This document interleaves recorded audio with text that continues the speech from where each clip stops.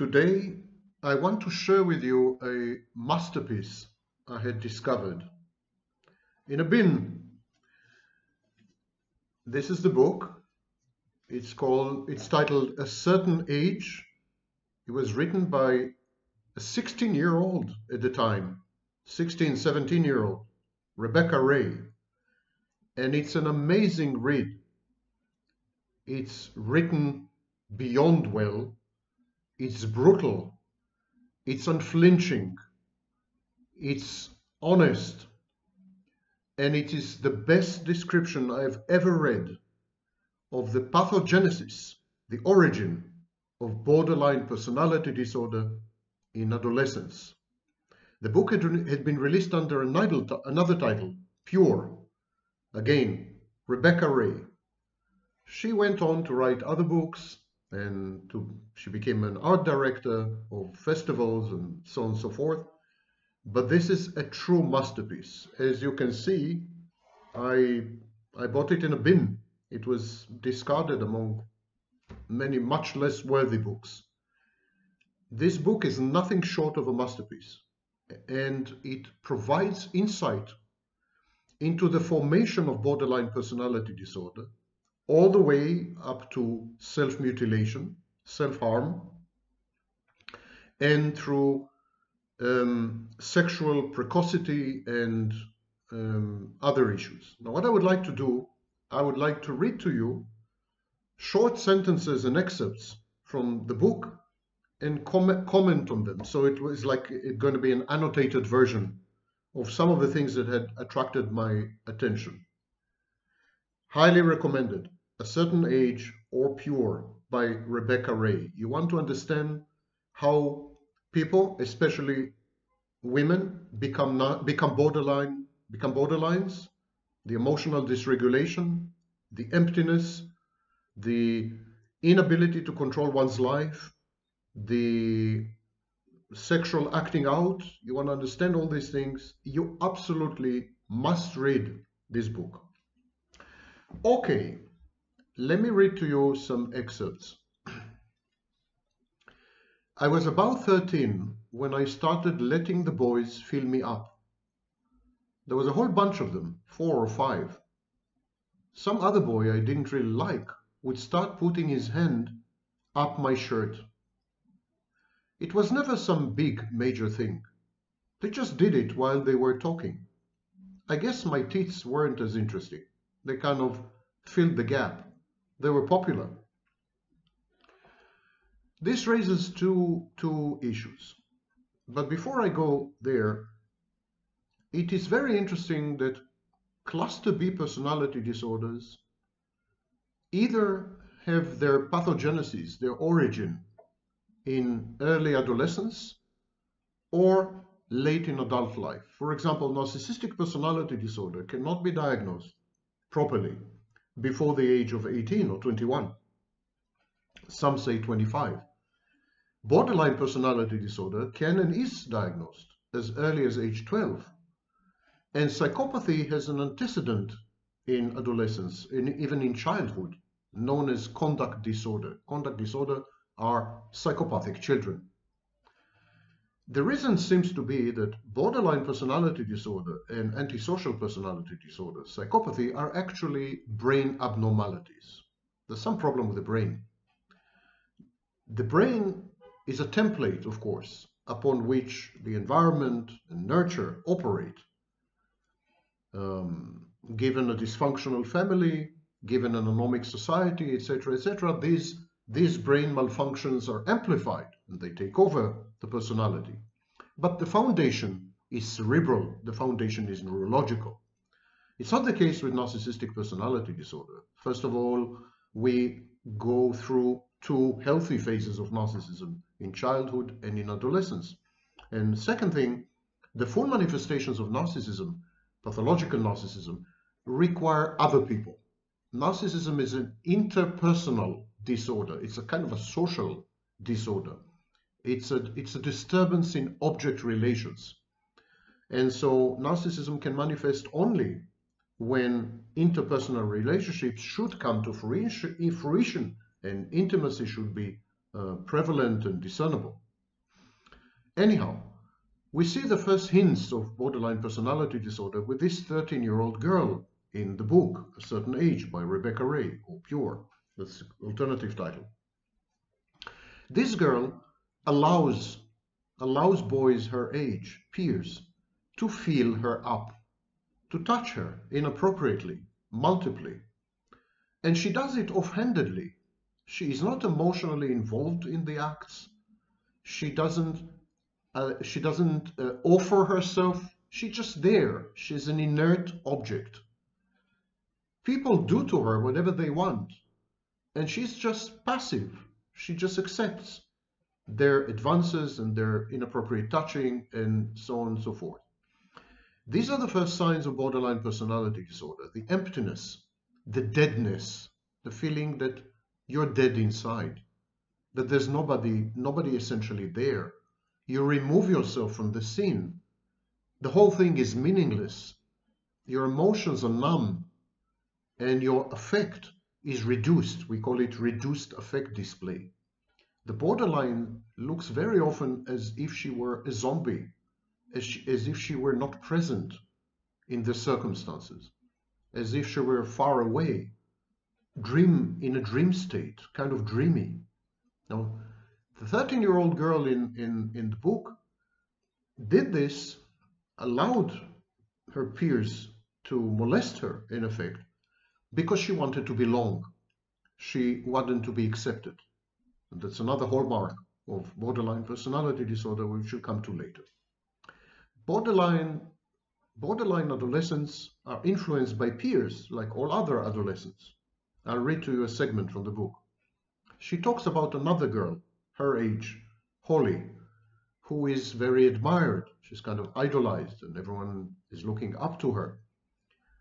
And she says about Holly, she went out to the city clubs with her sister.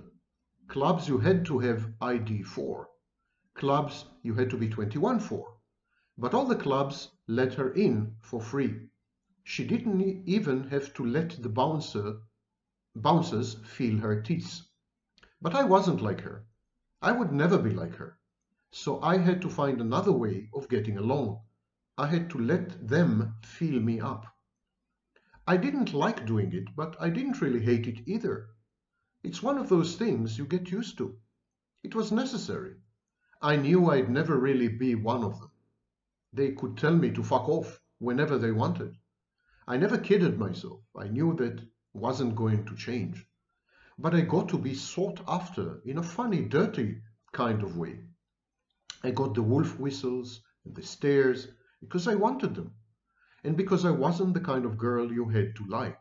I was the kind of girl you fucked. Borderline girls with borderline personality disorder, because borderline personality disorder is, of course, uh, diagnosed among men as well. But girls with borderline personality disorder adolescents, they usually leverage and discover their sexuality much early, much earlier than, than comparable peers. So we call it precocious, precocious sexuality. And they use their sexuality to belong, to be accepted. They leverage their sexuality to validate themselves, to modulate and regulate their sense of self-esteem and self-worth. And um, this girl is no different she is not really into it. It's not that she likes sex. She's not an nymphomaniac, so to speak. It's not that she is hypersexed, or it's not even that she is discovering her sexuality. She's not. This is not about sex at all. This is a trade-off. This is totally transactional. Indeed, many, many women with borderline and histrionic personality disorder actually don't like sex at all. They use sex to obtain male attention, to get invited again to a club, to obtain free drinks, to be uh, included in a group or a gang.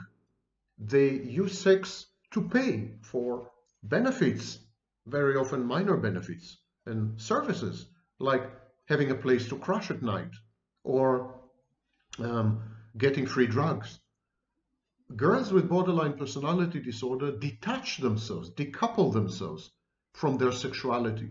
through the process of emotional numbing and reduced affect display, they kind of disconnect from themselves.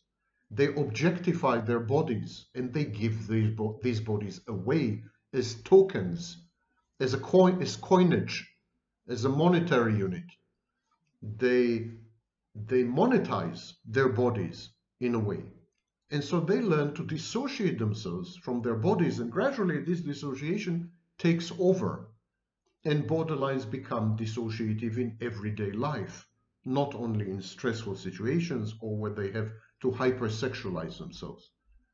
Borderline, uh, borderlines often experience amnesia, um, derealization when the situation doesn't feel real, and depersonalization when they feel that they are not present in the situation. And this girl at age 13 is already experiencing the whole panoply and gamut of, of uh, dissociation.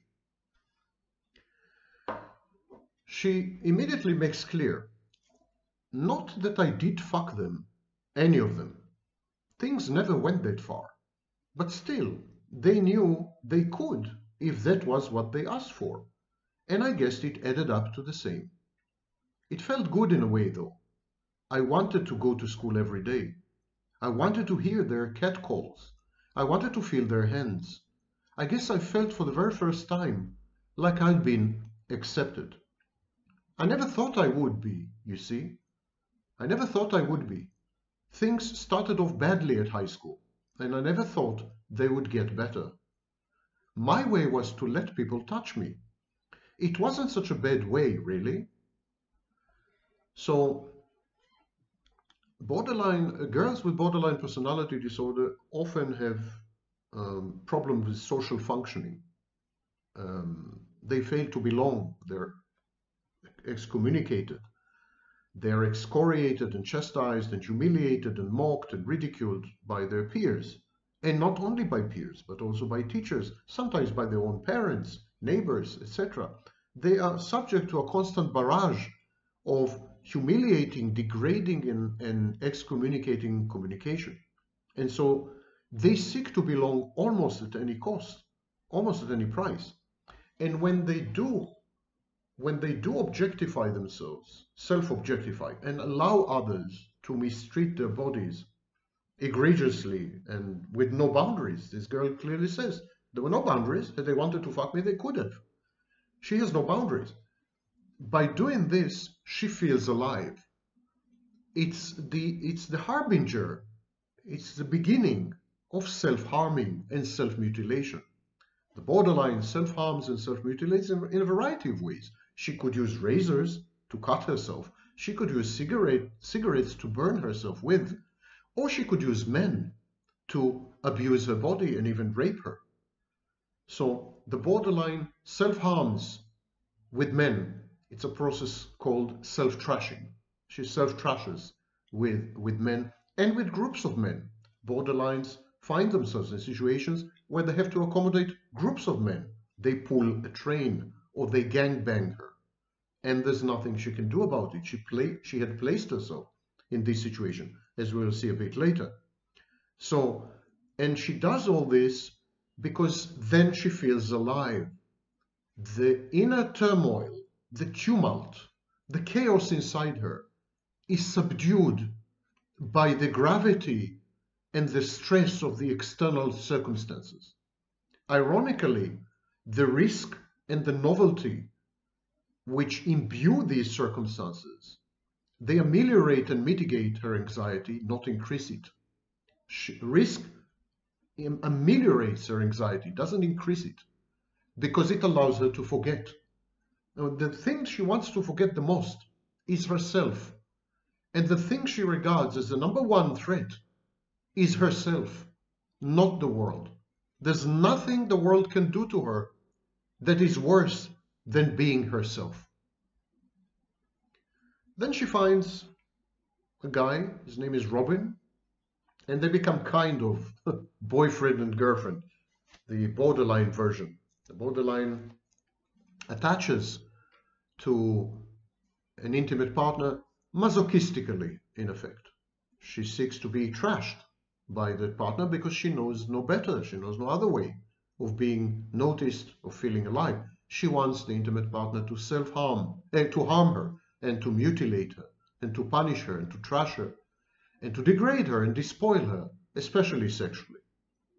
This is very common among borderline adolescents, and we find, for example, much higher incidence of explicit video sexting and live camming among borderline adolescents, especially with much older men, which were an issue we will come to uh, a bit later. So she finds this guy, and and true to form, he is sadistic, he is disempathic, he is self-centered, it's pretty disgusting. And she says about him, Robin never touched me. That was the first thing, the first thing I noticed about him. And it was strange because he could have done, he could have touched me. He wasn't good looking, but he had this aggressive kind of confidence that made up for it. Narcissistic. And he was pretty high up in the group. None of that mattered to me, of course. I would have let him touch me, in any case. I wondered why he'd be disgusted with me. He could have touched me too. When Robin saw her being touched by, by uh, other boys, um, they inserted their hands up their pants and, and fingered her and so on. When he, when, he, when he witnessed this, he was disgusted. And for the life of her, she can't understand why he's disgusted. She says, I wondered why he would be disgusted with me. He could have touched me too. She interprets his disgust as jealousy. He's jealous of them. He wants to do it too. And she says, I don't understand. I would have let him do it. Why, why is he so angry? Why is he so disgusted? She herself, she sees nothing disgusting, repulsive, reprehensible, morally unacceptable, personally unacceptable. She, she, she doesn't regard the fact that groups of boys finger her and so on as, as anything as anything problematic or she doesn't see why would anyone else consider it as a problem or as an issue or as wrong or as disgusting it comes as a shock to her, it comes as a surprise to her. And this is something very common to, to many uh, adolescent borderlines. They do the most amazingly egregious, immoral, reckless, crazy things, and they can't, for the life, for the life of them, see what's wrong with these things. There is a kind of compartmentalization. Many of these borderline adolescents are very bright even brilliant. And they can pass moral judgment on others. They can counsel others to have firm boundaries. They're very they're more mature than the average the average peer. They are having having had to cope with borderline and attendant anxiety and depression lifelong. They grow up much faster. They're much more mature. And so they're wiser, not only streetwise, but truly wise. And yet they can't apply this wisdom to themselves. They don't understand what's wrong with them. Why do people look at them askance? And why are people shocked by their by their behaviors? A borderline a borderline girl who would have sex with four uh, much older men, one after the other, in a, in an obscure obscure sleazy apartment, she wouldn't she wouldn't see anything wrong with it. She she would she would be surprised to hear that this behavior is unbecoming or problematic or represents dysregulation and lack of boundaries or psychologically. I mean, she, she, she I, I wanted the sex. It, it was fun to belong. I wanted to belong to them. I wanted them to like me. Um, it was fun to be with them. There were free drinks. I, I enjoyed. The nightclub was, you know, she would say something. She would justify herself self-justification in, in borderlines is infinite, actually. You can never convince them that they've done anything wrong, what their decisions are. And even though deep inside they do feel ashamed and guilty, but they would never admit to it.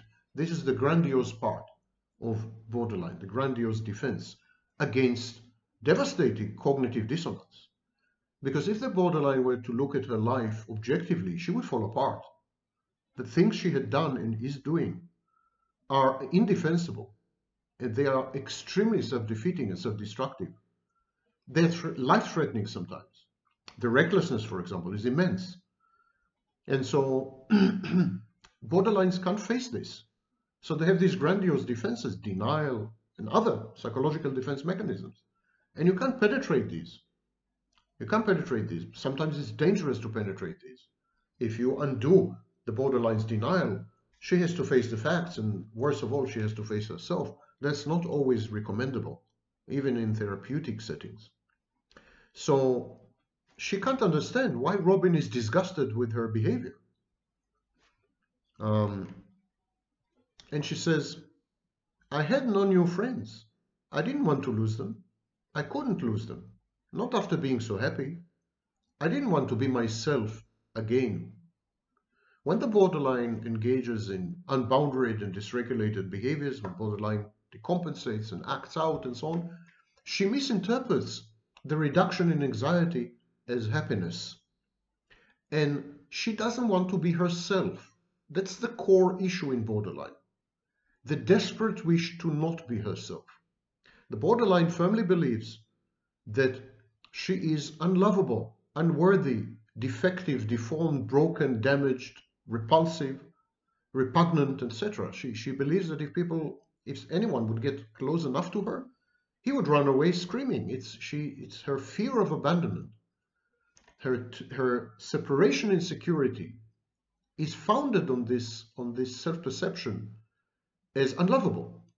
So she doesn't, borderline doesn't want to be herself. She wants to be someone else. And she is in a constant act. She's acting, she's an actress. She, she constantly acts, simulates and emulates that someone else. And that someone else is fun and free-spirited and carefree and independent and so on. And, and she wants to be that someone else because she believes that who she is is insufficient and even uh, repelling. And so she prefers to be that someone else. And when someone gets close to her, when someone becomes intimate with her, she's terrified of imminent abandonment and rejection. Getting to know her better is a guarantee that such rejection is forthcoming. She anticipates, anticipates the humiliation of having been rejected. And so she, she does her best to push the intimate partner away, and that's approach avoidance. There is this dance of approaching the intimate partner, being terrified of engulfment and enmeshment and rejection and abandonment, and then withdrawing. Uh, preemptive abandonment or just withdrawing in order to avoid the pain, the inevitable pain and hurt of, of rejection. There's also the issue of, of engulfment and enmeshment because the borderline is never herself. She's never herself. She's terrified of disappearing altogether. She, she has alloplastic defenses, so she blames the intimate partner for not being herself. She says, I'm not myself with you. You don't allow me to be myself. You want to change me. You want to transform me. You want to kill me. You want me to disappear and reappear as someone else, or you just want to kill me paranoid ideation. So the borderline is always terrified of engulfment and enmeshment because she perceives the intimate partner for, as someone who is pushing her to get rid of herself and adopt another self, a new self, more suitable for the intimate partner. Um, and here, I, here, we come, here we come to a very difficult segment in this exceedingly difficult book. It's a very difficult book to read. It's totally dystopian. There's not a single redeeming character or feature. Everything is hyper, is super realistic, and reality is harsh. The book is relentless. It doesn't allow you to rest for one minute. It shocks you every single page. It was written by a 16 year old. My God, I'm beyond impressed. She writes, about Robin, her alleged boyfriend, ostensible boyfriend. She writes, I hated him touching me. Letting him do it made me feel sick. I hated the feel of his hands. I hated the look in his eyes. I hated my body, and I think he knew it. And it was weird. Letting Joel and all those other boys fill me up, letting all those other boys touch me, had not been disgusting. I hadn't really cared. I only knew that it helped and they liked me and that suddenly I had friends. But Robin wanted to make me feel good when he did it, when he touched me. I guess that was the difference. And I didn't want to feel good. I didn't want to like it. The idea of liking sex seemed kind of gross. The borderline, when she rejects herself, and because she is oversexed, the borderline identifies um, her sexuality as her main currency. She offers her sexuality as the first thing. She realizes her internal emptiness and she has a very low self-esteem or low self sense of self-worth. So she thinks she the only thing she can offer is sex. So she does. That's a way of that's a way of making sure that she has friends or making sure that she has an intimate partner, a boyfriend or a husband later on. Sex is the coinage of the realm. That's how she pays for everything. She's very transactional in effect. But her sex is intimately connected with her body and she hates her body because her body is herself. Herself is sexualized, but her sex is self-objectifying and relies on this object called the body. So the, ident the identification is total. The self is the sex, and the sex is the body. So the self is the body. So she rejects her body. That's why, that's why she shares her body freely with everyone. She gives it away. That's why she is she she likes being self-trashed, degraded sexually, humiliated, even raped or sexually assaulted because it affirms her sense of rejection of her body. It's like other people, by objectifying her body, by trashing her sexually, agree with her. They are, they are agreeing with her. They're telling her, you're right. You're right to hate your body. So this ameliorates her anxiety. She hates her body. Men hate her body. Men, men abuse her body men use her body, so they're all on one page. They're all on one page. They all agree that her body is a despicable object, despicable object to be despoiled and degraded and and and and uh, you know dissected if possible. So, as long as she has sex with with other boys or sex acts with other boys, and they show no emotion for her, and they use her body as a mere receptacle, as a container, as an object, and not a very not a very appealing one at that. Just happens to be there. She's fine. It actually reduces her anxiety. She feels happy. She feels that she belongs because they're all on the same page. They all agree. Her body is public property, public domain. It's a worthless object. It's, it's valueless. It has no it has no, it's not priceless, it has no price, it's zero, it's, it's just for the taking. And so it affirms her self-perception, which is always anxiety reducing. When people agree with you, your anxiety is reduced. So she hates her body, they objectify her body and trash it, and so she's happy. But when someone comes along like Robin and falls in love with her, and he wants to make her feel good, suddenly she realizes that her body has a value, that her body can give her pleasure, that her body can afford pleasure to her intimate partner, and that her body is, in, is connected inextricably with love. And these are things she cannot countenance and cannot accept. Because if she were to love her body, she would be forced to love herself. She would be forced to confront herself. She would be forced to become self-cognizant and self-aware and that is something she cannot afford because the pain inside her is too much, is life-threatening. if she were to connect with her body, that would unleash torrents and tsunamis of agony and pain and hurt that she would never survive. 11% of borderlines commit suicide. She can't afford it. She needs to remain one step removed from her body. She needs to be an, an observer or a spectator. She needs to use her body as an instrument and a tool of gratification for others. She needs to trade her body transactionally. She needs to not be there. She needs to be dead and to dissociate when men do to her whatever it is they do to her. If she were to re reoccupy her body, re-inhabit a body, if she were to re-enter her body, if she were to realize through another's gaze how valuable she is, how lovely, how precious, how dear, she would collapse. She can't love herself because to love yourself, you need to be in touch with yourself.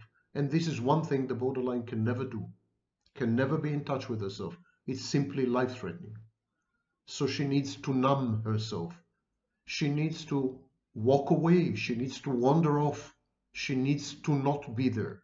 Exactly like narcissism. Borderline is about absence, not about presence.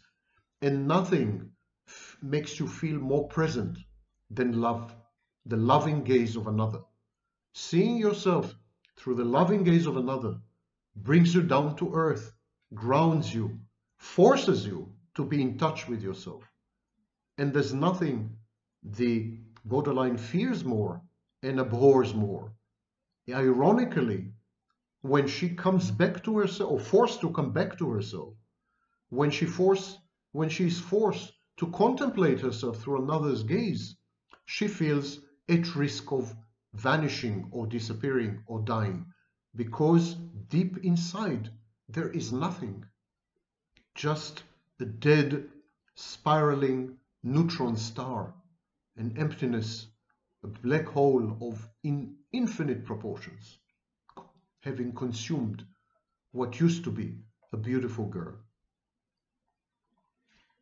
And then she meets someone, and that's in the book. Again, the book is A Certain Age or Pure by um, uh, Rebecca Ray. So the girl, the protagonist, who remains nameless throughout the book, by the way, she's 13, going on 14 years old, and she meets someone who is twice her age. That is also very common among borderline, borderline adolescent girls um, age inappropriate, age inappropriate relationships, age inappropriate sex. They have sex digitally or in real life with men much older than them. People call it by mistake daddy issues. These are not daddy issues. This is their way of extreme objectification and annihilation of themselves, removing themselves from the scene, so to speak. Anyhow, she says, I let I let him kiss me when he dropped me off, that much older man. I let him kiss me when he dropped me off. I guess he had paid for dinner. We see the transactional mindset here. He had paid for dinner. The only thing she can give back is not her presence, not her conversation, not her, her youth, not her livelihood, not her beauty, nothing. The only thing she can give back is her sex. I let him kiss me when he dropped me off. I guess he had paid for dinner. Transactional sex. Courtesy sex. I wondered what Oliver, that's the older guy, the guy who is twice her age, I wonder what Oliver had thought of me. He didn't even know my surname. Mysterious and secretive, I thought. That's the way she conceive, conceives of herself, as mysterious and secretive. Ironically, the borderline is mysterious and secretive, but to herself. She, she absolutely has no access to herself. She is an enigma to herself. So this kid who is 14 years old, she says, he probably thought that I were mysterious and secretive, independent, wild. I knew pretty early on that I'd let Oliver fuck me. It seemed like a natural progression. It wasn't like a decision or anything. I just didn't have a lot of choice. He was grown up after all. I would have let him do it straight away. I thought it had happened the first time that I went to his flat. I couldn't think of much else two people could do inside a flat. I was nervous the first time I walked in there, sort of like there wasn't turning back. And this single paragraph contains numerous, numerous pointers and indicators of uh, adolescent borderline personality disorder. First of all, the transactionalism. He paid for dinner, I have to give him six. Second thing, the dreamy, fantastic self-perception, grandiose, I'm mysterious, secretive, independent, wild, you know. Third thing, the inexorability of it all. The external locus of control. There's nothing she can do about it. It seemed, she says, it seemed like a natural progression. He was a grown up. Um, I couldn't think of much else people could do. There wasn't turning back. It's, it's out of her control, it's out of her hands. She's just a passive, inert object. People, op men operate on her, men use her as an object. She is not there. She is not an agent. She has no agency. She makes no decisions. That's very typical of borderline, this external locus of control. The reason is that the borderline's intimate partner regulates what we call her ego boundary functions. In other words, the borderline outsources her internal processes to the intimate partner and he becomes an extension of her mind. He is kind of takes over her mind. So of course she has this feeling that she's a puppet, a marionette, um, a ventriloquist puppet. And because she can give nothing else but sex, everything is imbued with sexuality and interpreted via the prism of sex. Once, once he has touched my teats, I thought, I'd be pretty much on safe ground. You cannot dump someone straight after doing that. So she regards sex not only as a token, a monetary a coinage, a monetary uh, unit, but she regards it as a guarantee of longevity of relationships. It's a, a it's something, it's a talisman, it's a protection against abandonment. If she lets him touch her breasts, she would be on safe ground because he would not dump her straight after doing this. Sex guarantees presence presence of the intimate partner. She's terrified of abandonment and rejection, but if she gives him sex magically, and it's a form of magical thinking, magically he would get addicted, or perhaps he would feel uncomfortable, shame and guilt, guilt tripping, shaming, and he would not abandon her. The only way to secure his presence in her life is to keep keep giving him sex. I was 14 now, she says. I was an adult. Not a schoolgirl, no way. Liberated, independent, a kind of woman who has somewhere to go, someone to see. And I wondered why I'd want to smile, why I'd want to when I wasn't even happy.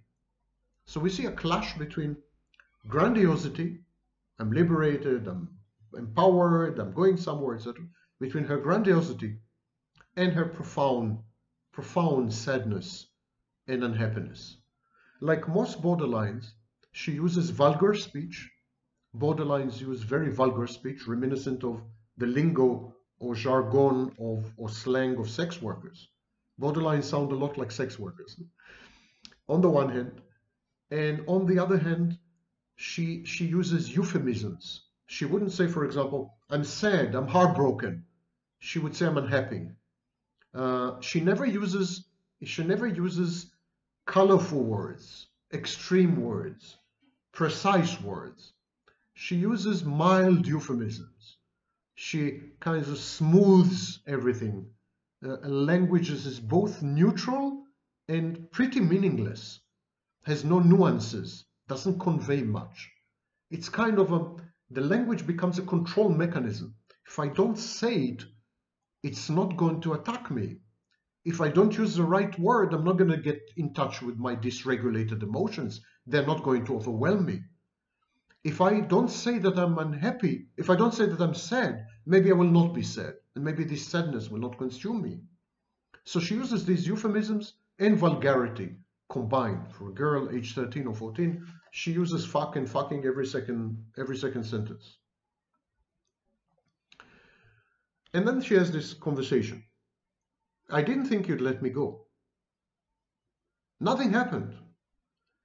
It came out too loud, and I had to look away then. I wanted to go. I knew you wouldn't let me. So she's arguing with her father. Father says, How did you do that? It's so stupid. It's so reckless. It's so dangerous. How did you go out alone with a man twice your age um, into his apartment, to his apartment? I mean, it could have ended badly. Didn't I teach you better? And she says, I didn't tell you because I didn't think you'd let me go. Plus, nothing happened, she protests. But it came out too loud and I had to look away then. And she says to her father, I wanted to go. I knew you wouldn't let me, I said slowly. That's all. I wanted to be reasonable. I wanted, I don't know. He was looking, her father was looking for an answer, I guess. Some reason that would make it all perfectly natural, perfectly understandable.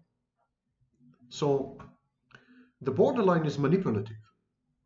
She would hide things, she would lie, and she would rationalize thoughts and behaviors which can never ever be justified. But her defenses are so strong that she would believe her own rationalizations and confabulations. It's not like she, and very often it's not like she were lying. She, it's not. She's not lying like the psychopath does. It's not premeditated, but it's an, an it's an instantaneous defense. She she just hides things passive aggressively. It's a little like the covert narcissist. She hides things. She glosses over things. She she ignores things she doesn't tell, but she lies by omission rather than by commission. So she wouldn't she wouldn't actively spin a tale, but she would omit crucial, super critical details. She recasts and reframes events so they don't sound and look anything like what really had happened. All in all, she gives the impression of prevaricating and lying constantly. And the father says, maybe I did something wrong. I mean, maybe it's my own fault. Who else's fault could it be? I didn't answer him, she says. He was right. It had to be someone, somebody's fault. Not his fault, though. Not his, when he was almost crying. When he, when he had done so much for me. Never ever his. It had to be my own. So, borderlines, after they act out, after they behave recklessly, after they do crazy or socially unacceptable thing like participate in a gangbang or something like that, they feel very uncomfortable, ashamed, ego dystonic, and guilty. They cheat on an intimate partner, they feel very guilty and so on. And then they switch from alloplastic defense to autoplastic defense. That's why Kernberg, Kernberg, Otto Kernberg said that borderline is on the border between neurosis and psychosis. Borderlines have both sets of defenses. They are, in some respects, they're very much like psychopaths and narcissists. In other respects, they're very much like neurotics. So they tend to blame themselves. But first they act. They act thought unthinkingly. They, they just decompensate, they disintegrate, they switch from one self state to another, they become psychopathic and narcissistic, and they act. And when they act, they dissociate very often or reframe in a way that removes all emotions from the act. And then the day after, or an hour later, or a minute later, they have ego dystony. They feel ashamed and guilty and so on. It's a brilliant book. Um, and the best introduction I've ever come across in 26 years in this racket the best introduction I've ever come across to adolescent uh, borderline. A masterpiece. A Certain Age by Rebecca Ray, titled alternatively Pure. I'm continuing to read from the book. Spending the night with someone meant having sex with them. It was just the next step. Like snogging a bloke, uh, kissing a bloke, is the next step after meeting him. Thinking about it, it sounded like one long slope. Once you were on there, it was just too much effort to stop. This, um, this excerpt describes the borderline's lack of boundaries because she feels overwhelmed and dysregulated and out of control. So lack of boundaries, that is the outcome of an external locus of control. It's an extreme situation where you feel that the control is so much outside yourself that your actions are so determined from the outside that there's no point in placing boundaries. It's too much of a struggle and it's unlikely to succeed. She continues, It hurt. It hurt a lot. But it didn't matter. I suppose that nothing ever matters. Not really. Remember I mentioned emotional numbing, removing yourself from the scene, a reduce affect display. She continues, This is the first time she has she she's lost her, her virginity to this guy who is twice her age. And it hurt a lot. But even though it had hurt, she says it didn't matter. Nothing ever matters, not really. But when he fucked me, there was nothing in my mind. And I wanted so much to pull away. Just make him get off. Just make him stop everything, to push him out. I'd hide. I'd hide, I thought. I'd close my legs. I'd run. But I didn't pull away from him.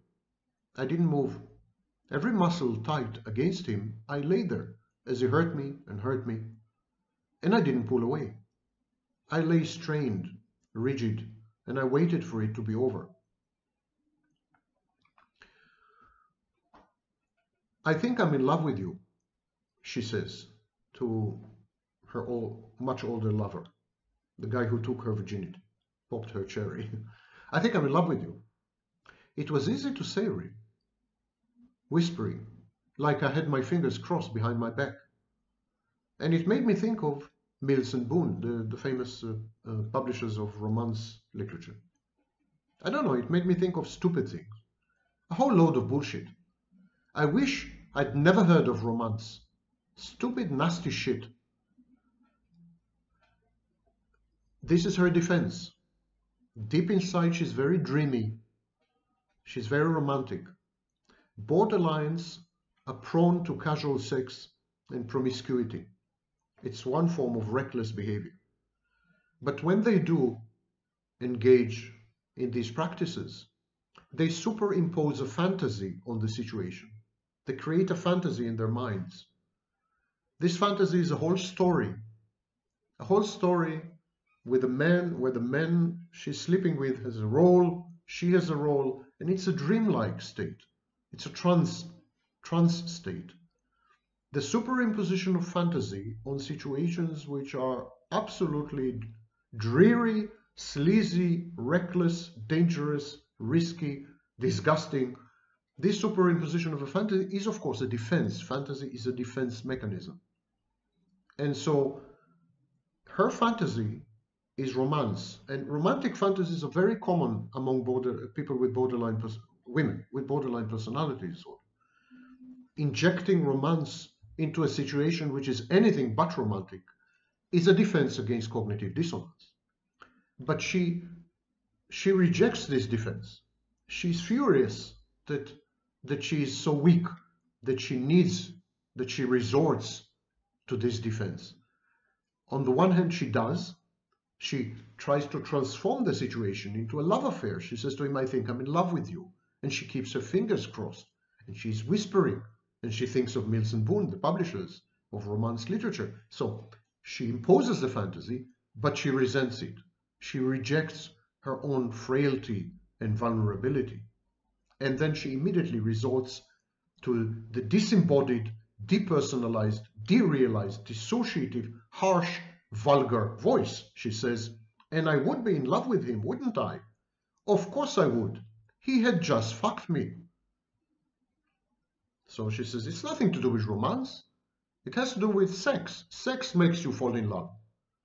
Sex is an in, inevitable, inexorable outcome of, of sex. And sex is objectified. Sex is nothing because my body is nothing. And I'm nothing. And I'm not there. It's not nothing to do with, with romance. It's a kind of addiction, an addictive reaction. And he says, I think I'm in love with you too. And she is already far removed from the fantasy she had she woke up from the fantasy. She's disillusioned and she says, No, you are not. She says about herself, I don't think my mouth was meant for words. My mouth was meant for other things. Her friend Dawn says to her, he, he is not a nice man, she said. He can't be. I nodded, looking at her but she didn't seem to realize that I didn't really care. Lying, the, the borderline lies first and foremost to herself. And then lying comes naturally as a defense against a, a world that judges her, a world that constantly criticizes her, and the voices, the introjects inside her head that are doing the same. The borderline is an extremely harsh, and sadistic inner critic or superego. So lying comes naturally to borderlines, although these are not the same lies the psychopath tells. The psychopath tells lies in order to obtain goals, is goal oriented. The borderline tells lies in order to distance herself from herself and from intolerable, unbearable situations because she's afraid to fall apart. And the girl in the book says, It wasn't difficult.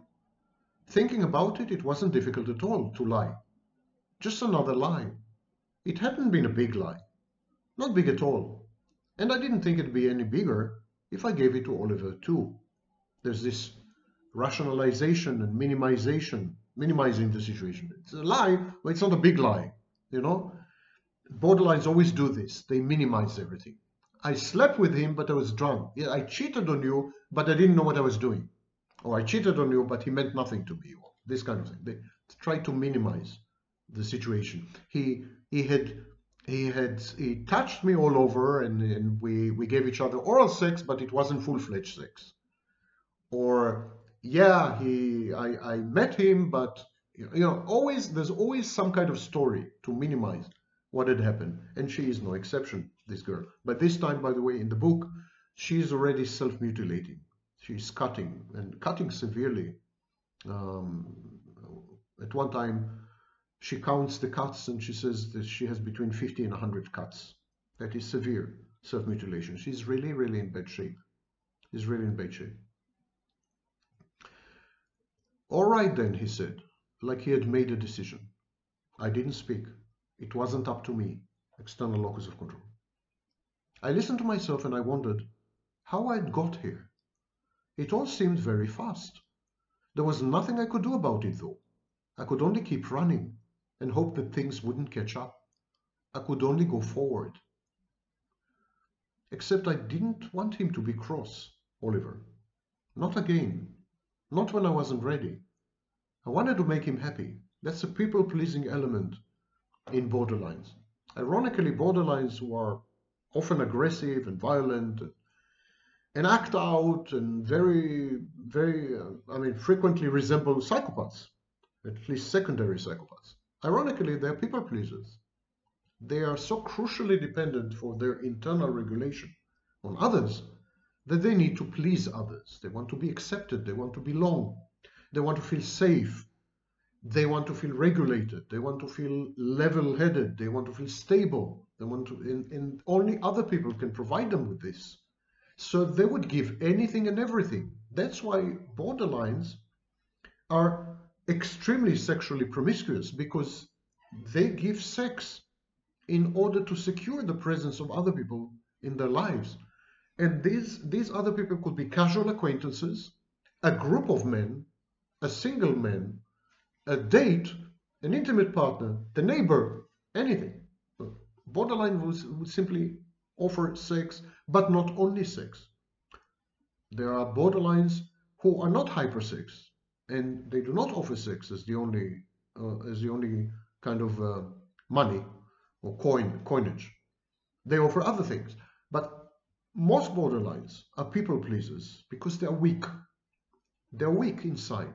There's a substantial fragility and vulnerability of the internal system. It's rigid because it's trying to hold itself together, but it's not doing a very good job. It's uh, borderlines of what we call identity disturbance. So I try to please people. That's what she says. I wanted to make him happy. Language breaks down with borderlines, as I had mentioned. She says in the book, the words had no real meaning.